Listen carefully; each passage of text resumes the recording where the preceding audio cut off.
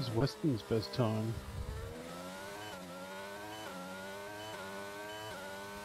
Yeah, 53.9 isn't that? 3-5.